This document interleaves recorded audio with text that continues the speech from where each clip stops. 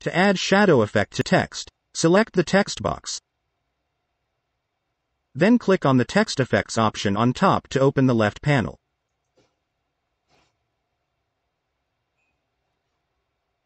Once here, make sure the text shadow option is active.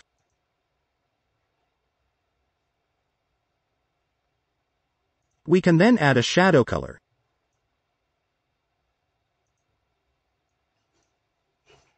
Change the shadow's opacity.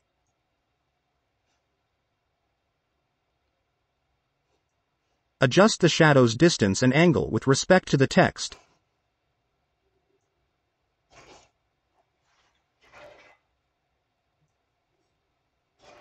And give it a blur if required.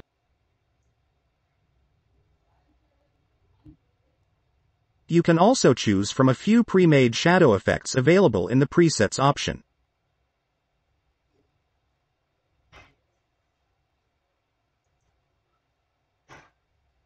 If you want to learn more about making the most of InVideo or have any other questions, check out our page at help.invideo.io.